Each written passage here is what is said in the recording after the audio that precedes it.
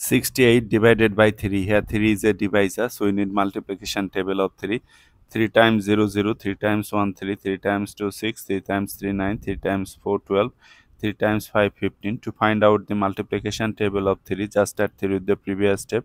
0 plus 3 3 3 plus 3 6 6 plus 3 9 9 plus 3 12 12 plus 3 15 3 goes into 6 how many times? 3 goes into 6 two times so 2 times 3 6 subtract 0 bring down this 8 0 8 means 8 3 goes into 8 how many times? 3 times 9 so which is getter so 2 times.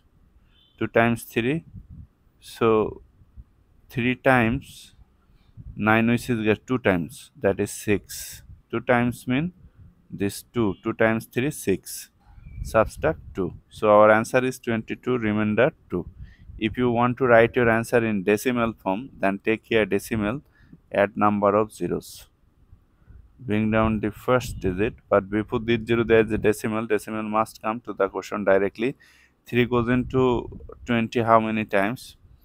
7 times 21, so 6 times. 6 times 3, 18. Subtract 2, 0. 3 goes into 20 how many times? 6 times. 6 times 3 18 so to bring down another 0 3 goes into 20 6 times. 6 times 3 18 subtract 2 so since this process is continuing you can bring down more 0 you can place here 3 dot now.